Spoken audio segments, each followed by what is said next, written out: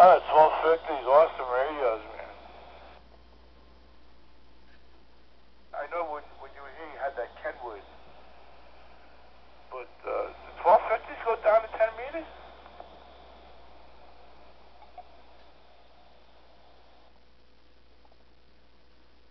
Yeah, they do. Uh, I didn't have the 1250. I just got it today. I picked it up today.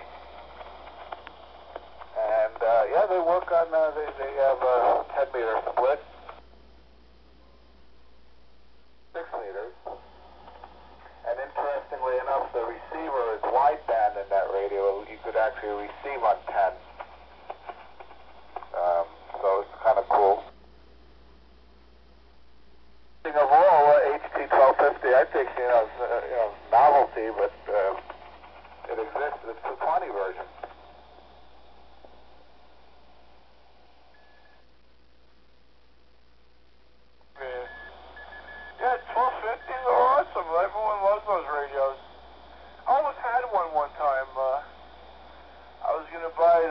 Warren and for Breck, and that was the end of that, so I never got it. But the price was right. It didn't have a full key pad or anything, but you could just change the cover, you know, the face.